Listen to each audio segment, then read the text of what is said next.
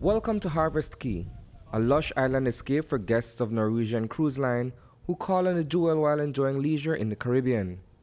Its emerald green waters, pristine stretch of white sandy beach, and a botanical garden which boasts a cornucopia of tropical plant life are all features that accentuate the beauty of this tourist attraction. It's a sunny day, the sky is clear and from a distance we're able to make out a very distinct aspect of the island as we approach Journey's End. Towering high above the coconut trees, a lighthouse stands magnificently in the backdrop.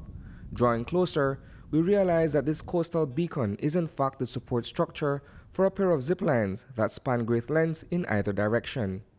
The flight house, like the sprawling swimming pool elsewhere on the exclusive property, are among many characteristics that define Harvest Caye. You know, we focused a, a lot on things that people can do without being charged. Um, so the pool is obviously a great feature. It's 15,000 square feet. I'm sure it's, the, it's probably the biggest in Belize. Um, if it's not the biggest in the, in the Western Caribbean, it's close to it. Um, even when the big ship is in, 4,500 passengers, the pool doesn't seem crowded. So too is the butterfly farm, a green enclosure that's teeming with insects of various species. With equal emphasis on flora and fauna, there's a lot to see on Harvest Caye, including a terrarium which houses juvenile boa constrictors. When we were developing the island, we came across boas on the island, so this one is actually from the island. A lot of the offshore keys have boas on them, as you probably know already.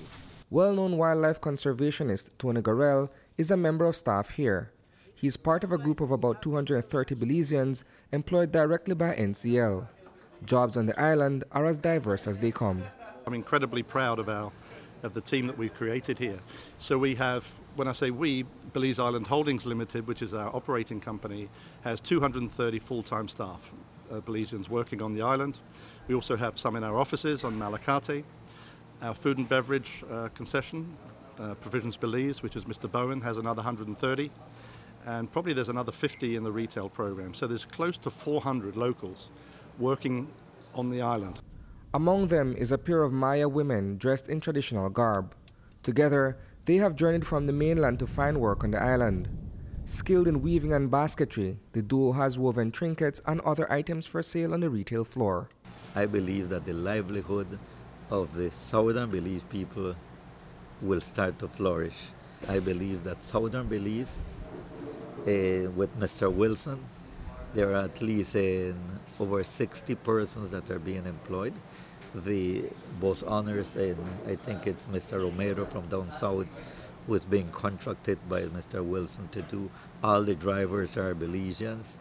Likewise, if you look at the kitchens over here, Dustin says, and one from my constituency, and, and uh, I consider him a, a, a real San Pedrano.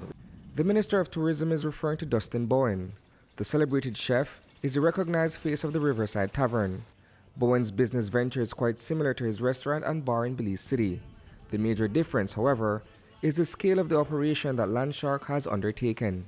We were very honored to get the contract and also um, very aware of the challenge um, based on the numbers and the volumes that you're talking about.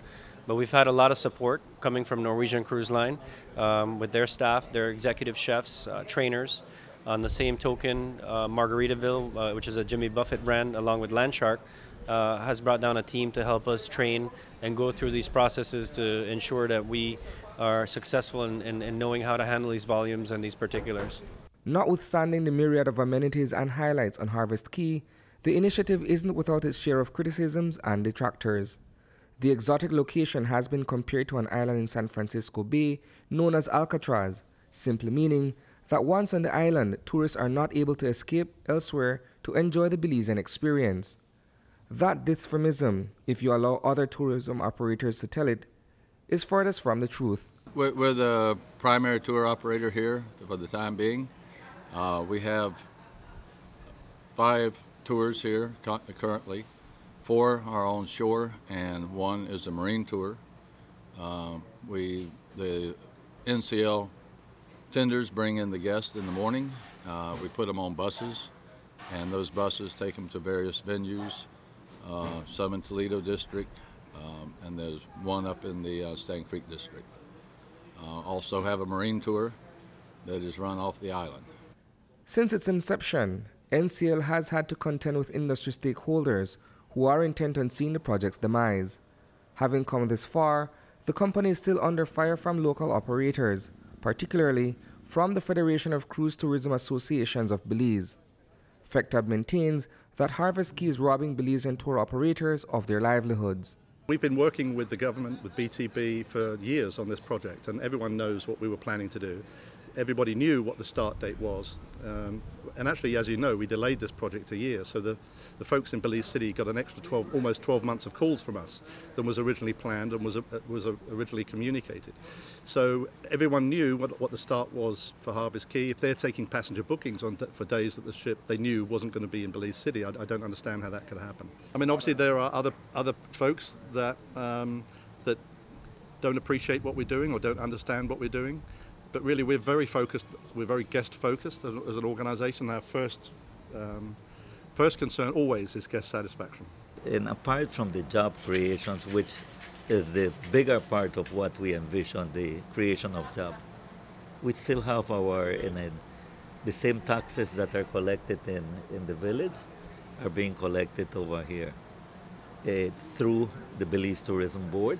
So it will be additional monies that will be that will be able to be spent for marketing not only for cruise only but for overnight tourism also. So there again there we have a substantial benefit that will be deriving from it i think it's in four dollars in, in, uh, per head that is being paid. That is us four dollars per person who disembarks from ncl's vessels.